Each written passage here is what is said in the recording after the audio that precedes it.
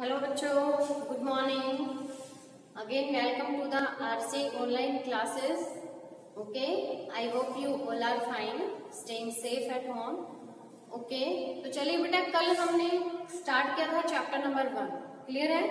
और हमने कुछ प्रीवियस जो टॉपिक्स थे वो भी डिस्कस किए थे. हमने डिस्कस किया था मैटर क्या होती है मैटर के जो पार्टिकल्स हैं उनकी क्या इंपॉर्टेंट कैरेक्टरिस्टिक्स हैं. ओके इसके अलावा हमने जो थ्री स्टेट्स हैं मैटर की वो भी डिस्कस की. आज हम चलिए कंटिन्यू करेंगे और आज हमारा जो मेन टॉपिक है that is the comparison between the three states of matter देखिए टॉपिक्स को रिवाइज करना बहुत एसेंशियल है बेटा। जो भी आपने कल पढ़ा है उसको एक बार जब आप क्लास में आए तो उससे पहले उनको रीडिंग ज़रूर करें। ठीक है? तो आज हम डिस्कस करेंगे about the three states of matter okay ये मेन तीन स्टेट्स हैं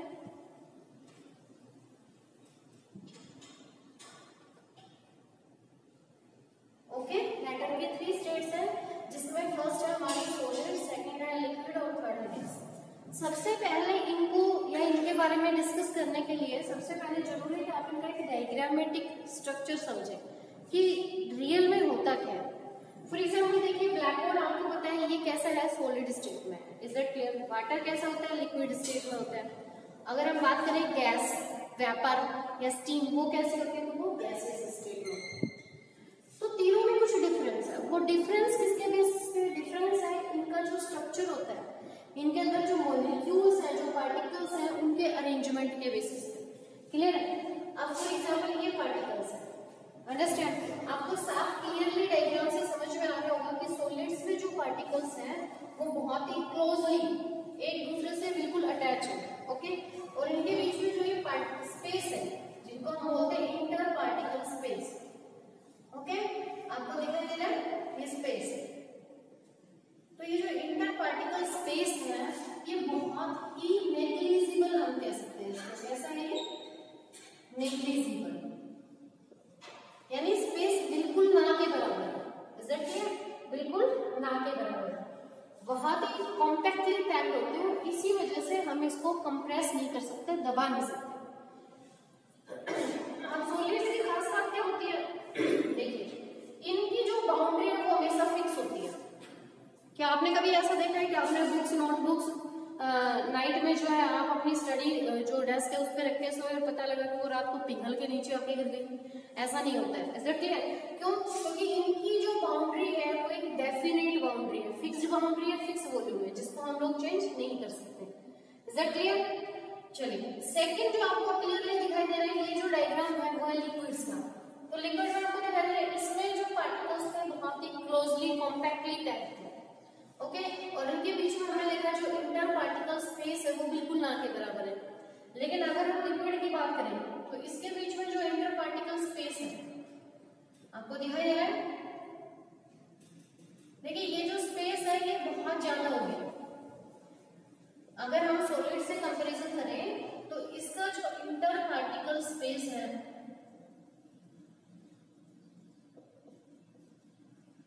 कैसे है इसके कंपैरिजन में वो बहुत ज़्यादा है, ठीक है? इंटर पार्टिकल स्पेस इसके कंपैरिजन में बहुत ज़्यादा है।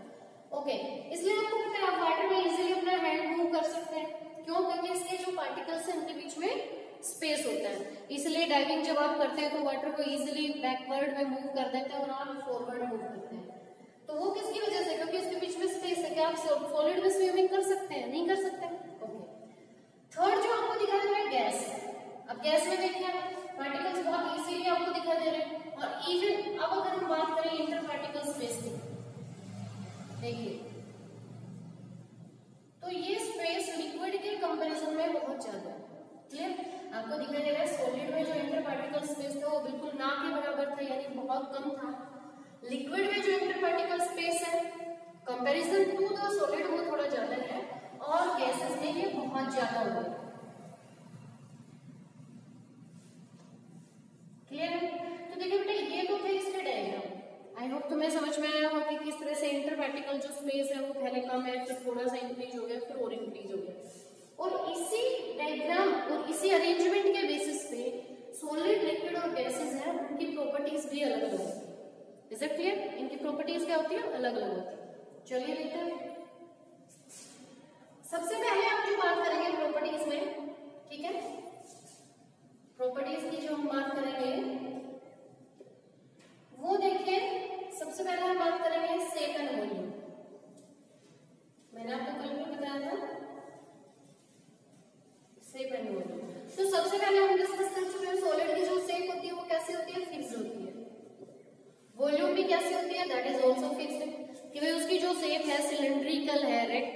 है या स्क्वायर है, जो भी उसकी शेप है, वही रहती है। वो कि उसको चेंज नहीं कर सकते हैं ठीक है।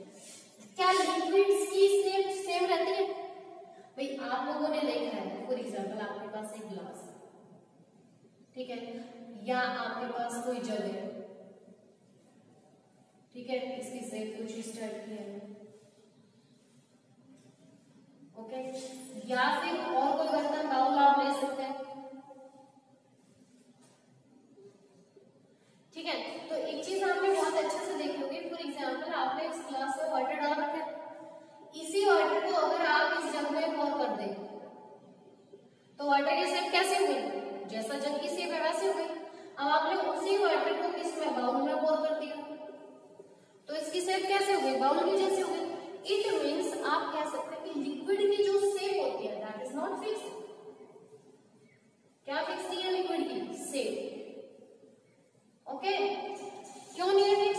क्योंकि लिक्विड को जैसे कंटेनर में आप डालेंगे, वो उसी कंटेनर की शेप अटेन कर लेता है। ओके क्या इसकी वॉल्यूम फिक्स्ड है ऑफ़ कोर्स इसकी वॉल्यूम फिक्स्ड है। फॉर एग्जांपल आपने इसमें 20 ml वाटर डाला है तो ऐसा नहीं 20 ml वाटर को जब आपने जग में डाला तो वो 30 ml हो गया। It is always same 20 ml ही होगा। इसको जब आप बाउल में डालेंगे तो भी इसकी वॉल्यूम कितनी होगी? 20 ml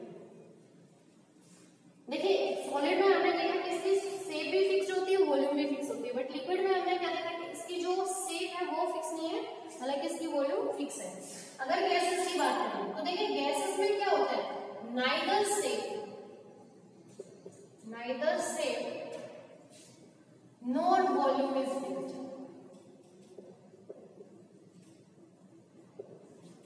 Okay यानी ना तो गैसेस की शेप फिक्स होती है ना ही वॉल्यूम फिक्स होती है क्यों नहीं होती आप देखिए क्योंकि आप गैस को पकड़ तो नहीं सकते ना फॉर एग्ज़ाम्पल आपके पास ये कंटेनर है, आपको पता लगा इसमें ट्वेंटी ग्राम या कुछ भी आपके पास गैस है।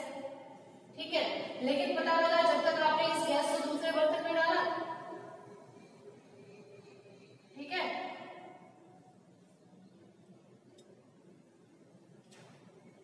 तो तब तक क्या हुआ इसकी जो वॉल्यूम है वो टेन एम ही रहेगी टेन ग्राम ही रहेगी क्लियर यानी क्या हो रहा है भाई सेप तो फिक्स है ही नहीं साथ में इसकी वॉल्यूम भी फिक्स नहीं है सेकेंड प्रॉपर्टी में चलिए सेकेंड हम बात करते हैं कंप्रेसिबिलिटी कंप्रेसिबिलिटी कंप्रेसिबिलिटी का मतलब क्या होता है? किस चीज़ को हम कितना दबा सकते हैं? तो सिंपल सी बात है, आप सॉलिड को कंप्रेस नहीं कर सकते। इसकी कंप्रेसिबिलिटी बिल्कुल क्या है? नील है ज़ीरो है।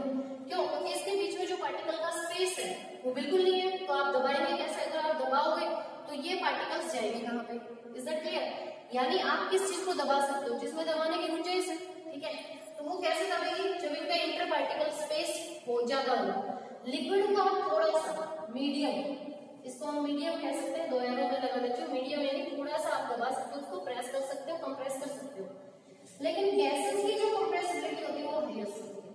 गैसेस को आप क्या कर सकते हो कंप्रेस कर सकते हो। और इसका एक एग्ज़ाम्पल मैं आपको देती हूँ LPG gas cylinder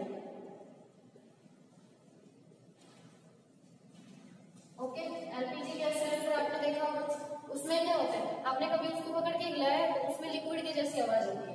दरअसल उसमें होती तो गैस है लेकिन जब गैस को हम अंडर हाई प्रेशर उसको जो बहुत ज़्यादा प्रेशर डालते हैं उसमें तो वो गैस किसमें कन्वर्ट हो जाती है? लिक्विड ये किसकी वजह से पॉसिबल है? हाई प्रेशर की वजह से। ओके तो आप इसको क्या कर सकते हैं? कंप्रेस कर सकते हैं।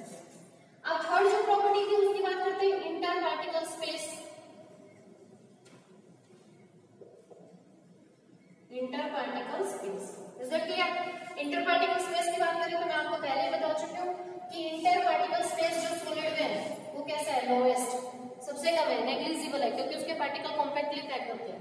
ओके लिक्विड में कैसा है वो भी मीडियम है यानी हम क्या कह सकते हैं कि जो आपका सॉलिड है, उससे तो ज़्यादा है, लेकिन गैस इससे कम है। इज़ दैट क्लियर इसमें भी आपको साइन ऐसे लगाता है कि इसकी जो कंप्रेसिबिलिटी वो सॉलिड से ज़्यादा है और गैसेस से कम है। ओके और नेक्स्ट हम बात करें गैसेस की